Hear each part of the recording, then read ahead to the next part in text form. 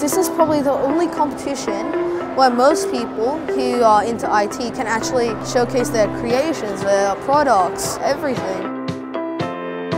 They love the open-ended challenge. They love the fact that they find something in the environment or in the school, they can solve it. You can present your project and show it and you can look at everyone else's ideas and learn from them. It's just a good way to network, make friends, to talk to other people that are like-minded. So I think that social aspect is one of the best aspects about this competition. I would have never thought of some of the ideas I've seen here. Yeah, they're just extraordinary. They're coding, they're creating, they're innovating and applying their use of technology in a practical way so that it actually can solve a problem or teach others.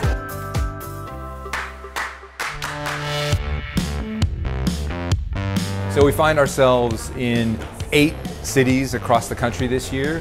We've grown to the highest amount of students, projects, and schools ever engaged. It's been very exciting to see not only the growth, but the capability increase.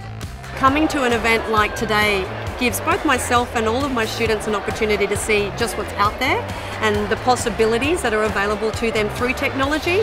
One of the things I love about this generation is they're incredibly ethical, they're really motivated by their values and they're doing it in a way that uses their understanding of the digital world because when you have kids being able to create solutions to the problems in their world by being able to create tangible things, the inspiration of learning is it just it blends all the way across STEM and, and into other areas as well. And that's why digital technologies is so important.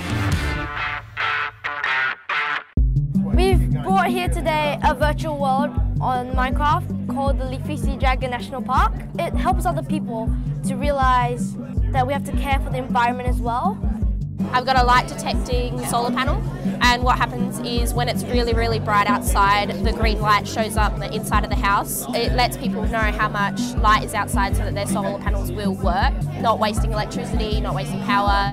I've made a wind powered car. The wheels are powered by a battery which makes the car move. Then the wind that goes to the propeller, when it spins, it makes energy which charges the battery. It won't add pollution to the air which makes people sick.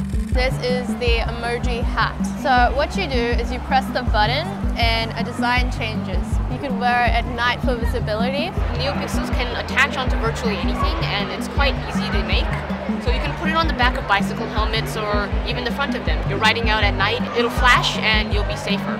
Today we brought our project which is sustainable 3D printing and the purpose of this is to find sustainable and good quality filaments for 3D printing. I really wanted to bring more enlightenment to consumers on the kind of impact that this would have on the planet. I have brought a robot that will clean the environment using the EV3 kits and using this code. This could be used at the beach, schools and other public areas to clean up the environment.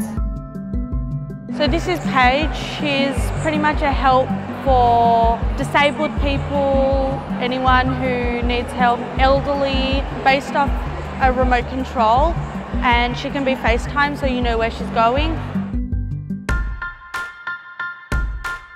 It's always good to see students who are prepared to go that extra mile because they're the ones that will be successful and represent Australia and the industries in the future.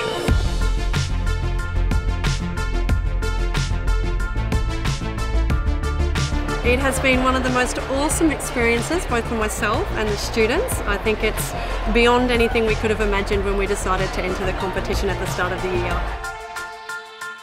Whether you're a beginner, intermediate or an expert in IT, this IT competition is designed for everyone. There's nothing really you can't do. You can go anywhere your imagination takes you. All you need is just a clever idea and you can go so far.